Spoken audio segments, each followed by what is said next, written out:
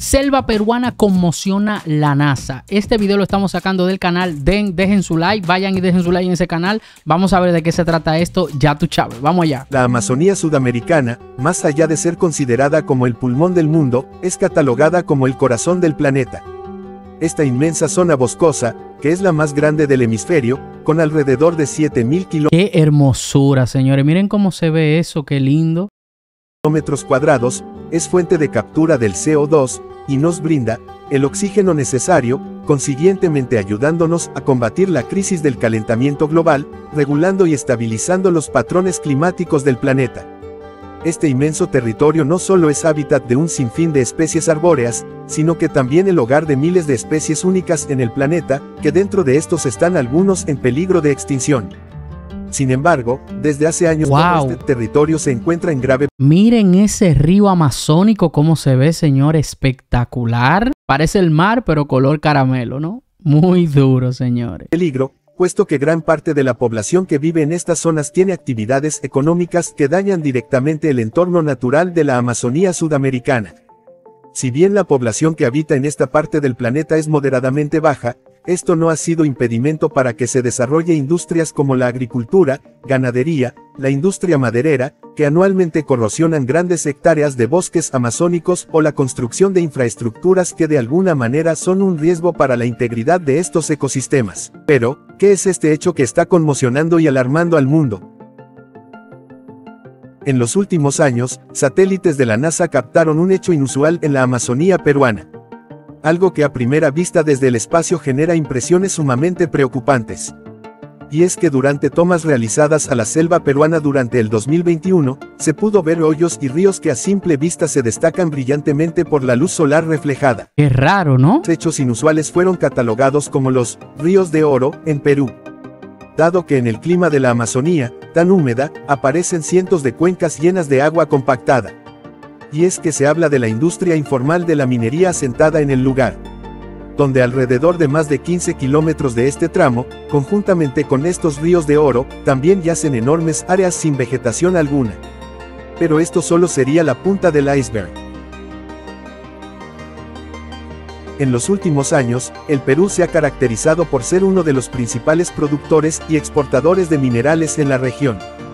Metales como el cobre, plata, oro y zinc han sido los de mayor relevancia en el país. Lo que ha representado como uno de los más importantes en el rol de la economía peruana.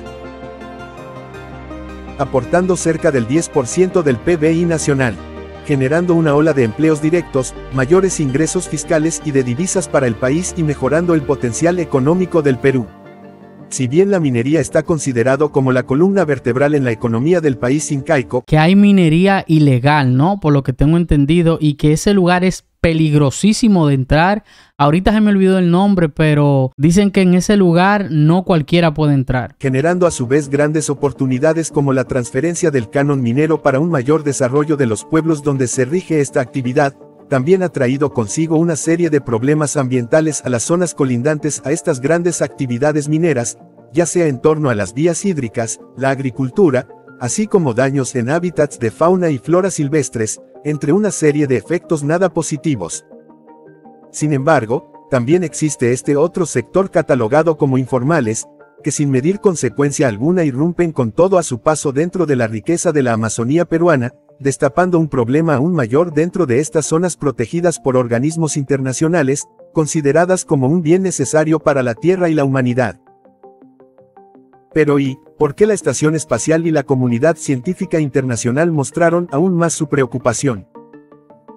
Un informe realizado por Mongavila alrededor de 150.000 personas en Perú se dedican a la minería ilegal, y de estos 50.000 personas presentan sus Miren ahí lo que yo estaba diciendo hace un ratito de la minería ilegal. Vamos a escuchar. actividades en la región de Madre de Dios, que es donde se encuentran estos ríos de oro. Madre de Dios, ese era el nombre que, que decía que se me olvidó. Dicen que ese lugar es peligrosísimo, señores. Según el Ministerio del Ambiente peruano, esta actividad informal generó más de 8.200 millones de dólares, muy por encima del narcotráfico que generó 640 millones en el periodo 2013 a 2023. Wow. Y precisamente estas circunstancias de beneficios económicos son el principal motor de estos actos ilícitos, dejando de lado las consecuencias ambientales en la Amazonía peruana por lo que anualmente solo en el Perú se pierden alrededor de 10.000 hectáreas de bosques amazónicos por culpa de estas actividades.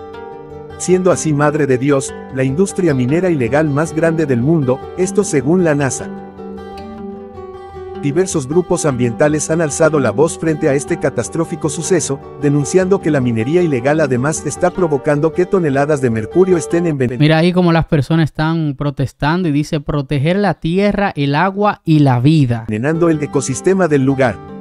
Un daño irreversible que no solo afecta a la flora, sino que también a las cientos de especies como primates, mamíferos o aves exclusivamente de la zona. Es cierto. Y es que se debe aclarar que en esta zona de la Amazonia sudamericana están presentes numerosos parques naturales y reservas de biosfera reconocidas incluso por la UNESCO. Como la conocida Reserva de Biosfera del Manu, Reserva Nacional de Tambo Pata o la Amazonía Central en Brasil preocupando aún más la situación, dado que precisamente en estos lugares existen especies nativas exclusivas del lugar, el cual corren un gran peligro de existencia y que muchas de ellas ya se encuentran en peligro de extinción crítica. Eso es muy preocupante, señores. Todos esos animalitos, especies que como dicen están en extinción y que verdaderamente, señores, hay que proteger. Por ejemplo, yo soy amante de ir al zoológico y, y me encantan todos, pero todos estos tipos de animales desde aves hasta el animal que menos tú te imaginas. Me encanta. Entonces, yo sí apoyo eso de los animalitos, que hay que protegerlos. Pero este problema no solo se da en Perú, sino que también en varios países de Sudamérica que comparten la Amazonía, como lo son Colombia, Venezuela, Brasil, Bolivia y Paraguay. Se estima que la minería informal en la región genera más de 2.500 millones de dólares cada año. Donde más de medio millón de personas laboran diariamente. Si bien existen una serie de factores también que corrompen el estado natural de la Amazonía sudamericana, como el crecimiento poblacional, nuevas infraestructuras, industrias madereras furtivas, la minería ilegal, entre otros, gobiernos de los países que comparten la Amazonía han demostrado no hacer mucho para revertir estos problemas que a largo plazo generarán consecuencias irreversibles para nuestro planeta.